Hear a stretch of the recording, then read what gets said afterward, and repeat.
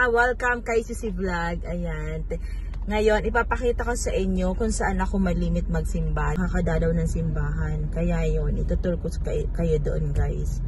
Ah, feeling ko may mas ngayon ng 6pm doon. Pero yon ipapakita ko. Maliit lang siya.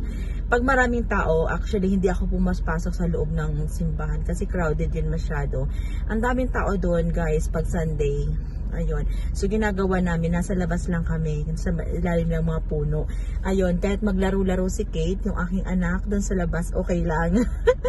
okay lang siya na maglaro-laro doon. Kaya yun, isa sa mga gusto ko yun na simbahan. Saka ano, napaka-cute niya.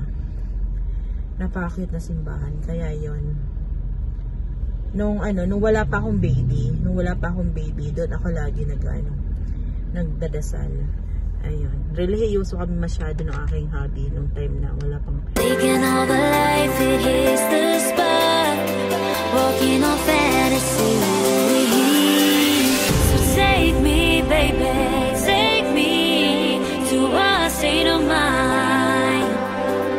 That's made of, baby. That's made